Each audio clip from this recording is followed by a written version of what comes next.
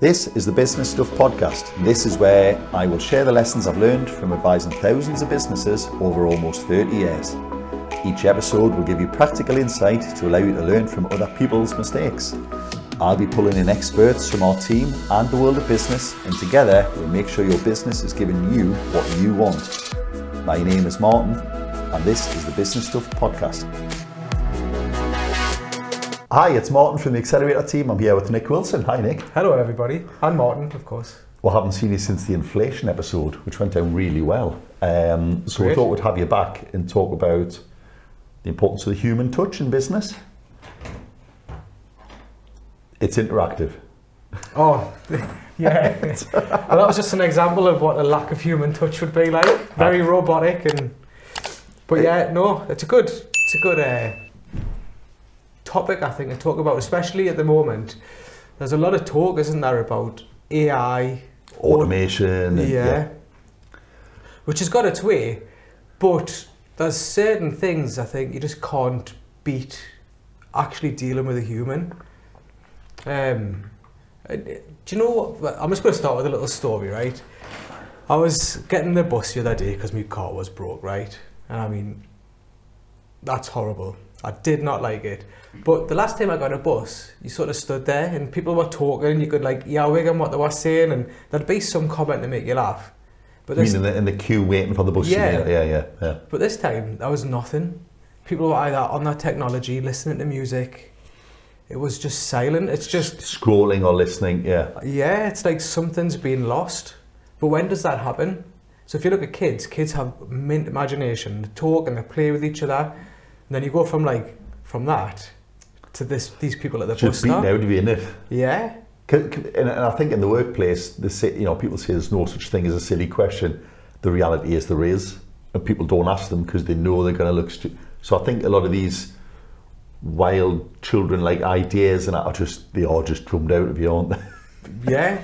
But, But- speaking of that people, But you talk, you, you, you've kind of your story there, Nick. I think is an interesting angle because I think businesses are looking to use automation and AI and tech more and more for obvious reasons. But I think there's a danger that they'll lose out on that bit of crack in the queue, isn't there? yeah, but it's not just that way I was going to go there.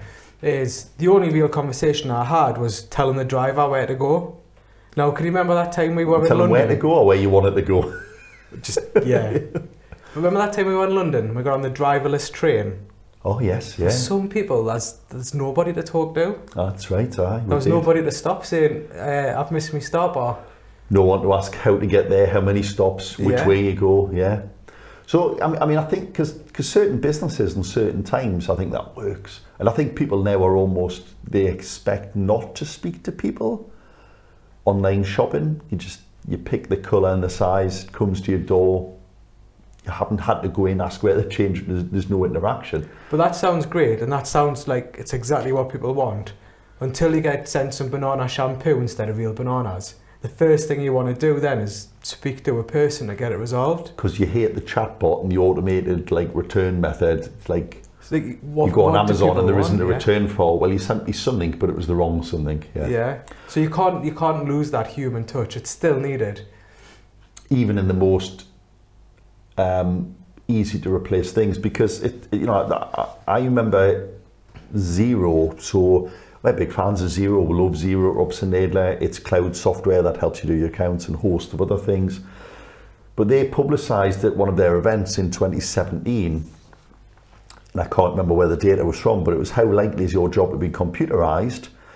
And dentists had less than a half a percent chance of their job being computerized.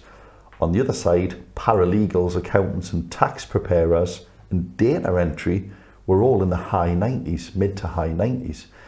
Um, so they, they, they were kind of saying quite openly, we think you need to adapt. As- in, in, if you're a business that's in an information heavy business, you, you're the easiest ones to replace. If all you're doing is feeding information back, Google's got half of that sorted already, isn't it? And I think the, the, the opportunity here is to, to embrace the right use of automation and AI, but, but not just give over to it. Yeah, don't rely on it. Otherwise, it's like Terminator 2 style life, isn't it? Cyberdyne systems, you know, bomb explode. So in the spirit of um, you know giving AI a fair crack here, I did actually also interview ChatGPT, and I sent Nick in like a video of me asking ChatGPT to give me three positives about using AI in business and three negatives, and it did it in seconds. In fairness, so if you want a quick answer, that might be the way to go. And it, it, it, it, it's actually not that bad. You know, it said AI can automate repetitive tasks, make processes more efficient. It can. This frees up time for employees. It then said one of the downsides is that will probably lead to job losses. Now you might think, well, I'm in business. What, what, that's not a bad thing. It is if you just get rid of people but don't re-engage them somewhere else within your business. And I think business has got a, a, an obligation here not to just say, well, we can save time and money here, so we will. I think they should use that as we freed up time. Let's re-employ that time into doing something that a machine can't do. But it's really hard, I think, for a lot of business owners, especially at the moment. All they say is rising costs, and if they can save money, Yeah, there's so much, like you say, temptation to replace people with robots. But there's going to be so much that is lost. Yeah, because the I think if one one of the disadvantages that was given is, you know, if your systems go down, there's no automation, there's no AI, nobody knows how to do it anymore. That that that's it's well done, ChatGPT. But the other thing they said as well is, you know, AI systems are only as unbiased as the data they are trained on. If the data is biased, obviously the outcome is biased, which I think is really interesting and important here. Because if you're one of the businesses that's going to use AI to answer questions, for instance, from customers or clients, your answer is going to be a generic, bland response, isn't it? How can it be any other? And I think that's where the opportunity is here for businesses to be different. I think if mm-hmm. you can make sure that your personality, that the, your feel of your business is in your responses, surely you've got a chance to win then, haven't you? I would say so, yeah. Because that generic, that bland answer that robots or software can give, it's a bit like when you've got something wrong with yourself and you Google the symptoms. It gives you all the answers, like a 20 question style thing, but what the GP does is listens to the way you talk, watches the way you sit, look at your reactions Yeah. when they press certain parts of your body. That's the stuff that Google really can't gets... go, does that hurt? Yeah. Does it hurt when you do that? It's like, well, what do you mean when I do what? Like, yeah. And it's that's the bit, and that's why probably dentist was on here as one of the least likely to be computerized. Well, they're doing something that where no two are the same, are they? Uh, yeah. Your tooth hurts, oh, well, we'll pull it out. Oh, no, you didn't need to pull it out. It was, yeah. Um, what, Nick, how, how do you think business should, should balance this then? Because, do you, I mean, the need to save money and automate is inevitable. It feels like it's going to happen. It's How- happening. how do it's they happened. How do they protect against that then, do you think? I don't really know, um, to be honest. I think what we were just talking about before is repurposing the actual people that they have in their business and retraining, upskilling, letting people do something that's more fulfilling for them. Because everybody's motivated by different things. So it's a real opportunity to see what makes the people in your business tick and let them do things to help your business that also helps them. And I get not every business can do that, but where possible, I think that's how you're going to get the best out of your people and the best out of your business.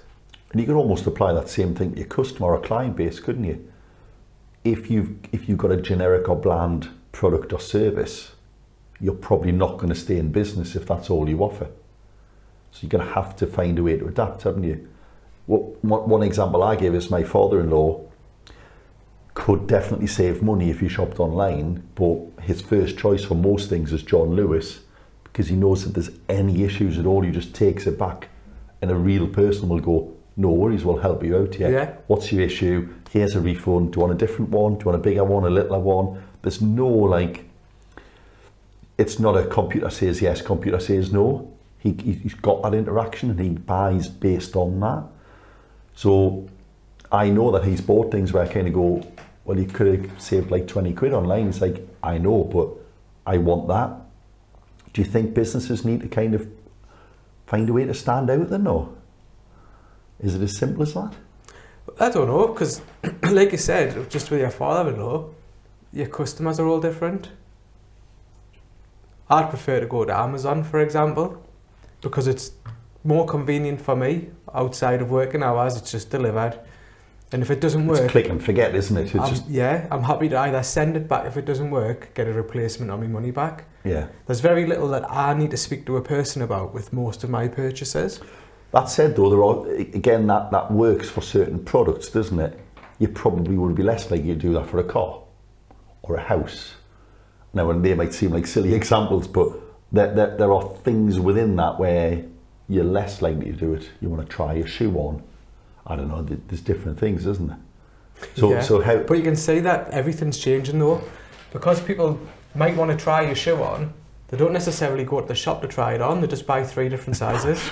Yeah, which is yeah, which is nuts in this waste. Like we're trying not to waste, yeah, and yet the system encourages waste, doesn't it? this yeah, it's just the the generation or the the society that's that's been created as a result of this. I mean, even within that, though, you touch on something quite interesting because Amazon, I don't think, I think the scale now is part of the reason it wins because of price and things like that. But they're not the cheapest either. But they're not the cheapest, but also they made it probably the easiest to get your refunds, easiest to send things back. Have you ever had to deal with an actual person there as well? Not often, but yeah, you, You- you you- can get them on a chatbot type thing. But well, you go on the chatbot and just ask, "Can I speak to somebody?"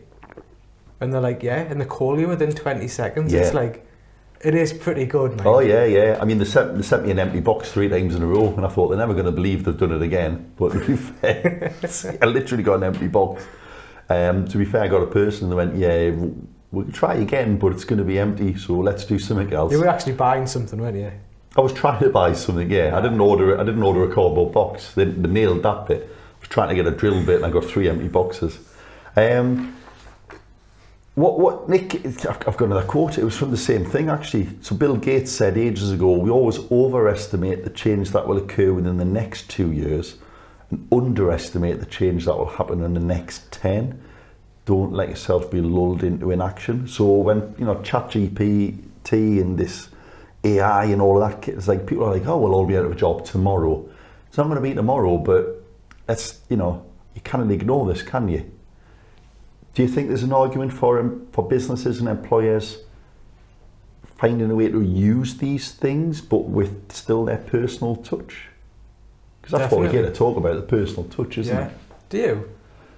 Uh, yeah, I mean, you know, I mean, you know, we covered on our weekly catch-up last week that this, you know, ChatGPT nearly passed the Institute of Chartered Accountants exam, which is quite a tough exam. You know, we've got a room for the uh, uh, building full of people that would tell you how hard it is. I presume you just ask the question, goes out there, finds all the data, and It- gives you something back. and it, and it only narrowly failed. Um, but but my, my point here is, I've always said to people for years, well, you can ask Google anything and it'll answer, but are you asking it the right question? I've said that should be a lesson in schools going forward. How to Google well? Yeah. yeah. yeah. have you ever Googled how to use Google? It's like mind blowing. There's so many different ways you can ask the question. The punctuation makes such a difference. oh yeah, sorry, the context, the syntax, yeah, the, yeah, yeah. it's like wow, I've just like upped my Google game so much. Well, that's what you said though about the, the GP. The GP will notice if you like, they don't normally prefer the left hand side or the right. Yeah. Have they got a back issue as well, or is is it the neck? Is it the back? Is it the spine? Have they hurt their leg? And that you don't get that in Google, do you? It's like my back hurts. You know, why does my back hurt? You're not going to get an answer, are you? But, but a good doctor, like I think a good accountant or a good tax advisor, a good solicitor, will they'll turn your answer back, like they'll turn your question back, and they'll dig more and more, won't they? Well, yeah, you can sense emotions and feelings and really get to the root of the problem Yeah. or the root of whatever the person wants to know. Because a lot of people will say, I want to save tax. But why do they want to save tax? Ah. What, what are the plans? All of this type of stuff you need to consider. Otherwise, you get a generic answer like, make less money. Well, I was going to say, on a literal response to, can I pay no tax? Yes, earn no money. yeah. All right, well, there you go, you're done. Is that, is that good? Are you happy with that? Yes. I've saved you 100% of the tax you pay. I've got no money now. All right, so sorry, what was the question then? It was, can I get a good balance. And, Yeah. and that, that's the bit that's missing, I think, isn't it? What do you think? I mean, we didn't talk about some of the other advantages here because we've got to be careful not to just sell this as a bad thing. So, you know, again, ChatGPT reminded us that AI can analyze large amounts of data and identify patterns. We in the accountancy world have got so much data now. You get bank feeds, you've got invoices, you've got all of this data. And it is sometimes quite hard to, to see the pattern, isn't it? Yeah. Especially if you haven't learned old school before the reconciliation of transactions was done for you. So when you trained, you had to just learn how to spot these patterns, didn't you? There's a danger that next generations aren't going to have those skills. But they are going to have different skills. They have different skills, but only if when the date when it, when it works. If it's not Mhm. working, they probably can't get that shoebox full of rubbish and turn it into a set of meaningful data. Like, No, that's a skill that's gone now, isn't it, really? yeah. Or at least dying. That's unfair to say it's gone. Uh, it's like thatched roofs. There aren't many people who can fix, fix a thatched roof No. now. And the idea of a shoebox job will disappear in time as well. But just going back to your point on there, right? So, for example, um, there's some software that we use, and there's a few different variations of it. But instead of processing invoices, having somebody typing all that information in, I think you actually did a video about three or four years ago on this. I, I, did a Merry Christmas video. I've just given you some time back for Christmas, I think It it, took you 20 seconds to process 20 invoices compared to like 10 Typing minutes for yeah. yeah. Which is quite it's good. No don't get us wrong you still got to check it because anything and anyone can make mistakes yeah. But what that's allowed is somebody to now do something different where you would normally Yeah. have had to employ somebody new or somebody wants to learn the next part of their job they've give them that opportunity so yeah it's it has got its place but it can probably capture much more than a person can yeah, yeah. Because that's one thing that always strikes me. I, you know, I've worked in this game for a long time now, and I look back at how long some jobs used to take, because they did. Even pressing print on a tax return, putting it in an envelope, sending it, that all took forever. Now it's send that via the portal, it's pretty much instant. So on every job, in theory, you've saved a couple of minutes. But we don't see those minutes. It just enables businesses to find ways to offer more within the same pricing, doesn't it? hmm well let's look at Lego service. See again? Lego have you seen the Lego factories I haven't. They're pretty, yeah, they're pretty cool, right? It's just robots and they've got set paths and they know what they've got to do by when. They're just zooming all around this air warehouse, picking stuff up. Now, that's probably taken over jobs of hundreds of people. Yeah. But the price of Lego's not come down or anything, has it? But they've probably had to invest lots of money to be able to do that. But what they're doing is like, And they've probably got people who now fix robotic builders, you know, program them. They might, yeah, they're probably not employing any less people, just different people. just different people. Yeah.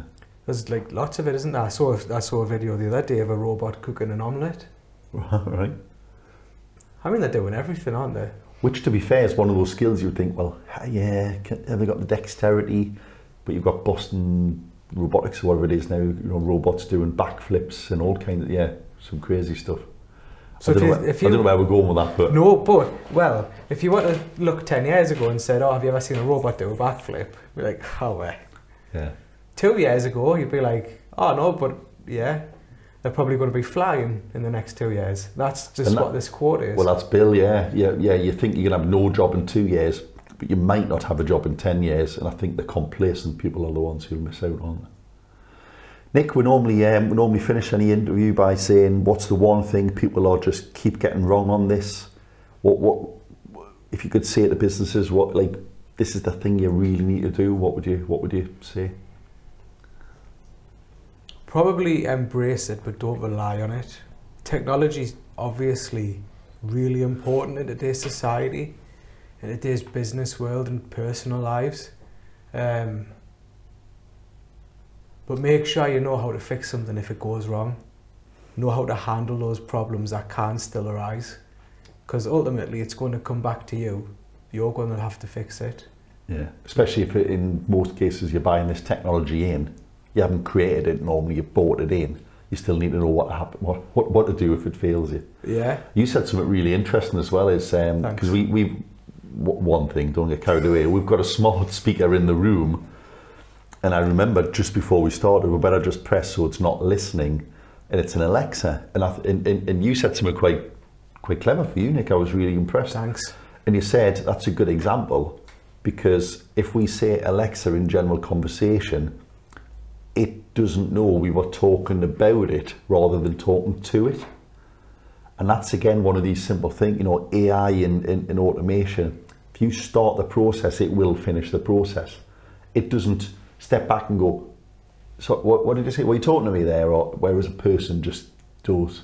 And Yeah. I, I kind of quite verbalised that, but I think that was quite a, a deep observation. It doesn't know when you're talking about it rather than to it. All it heard is its name and it started, didn't it? hmm And that, that, that, that I think summarises it quite well.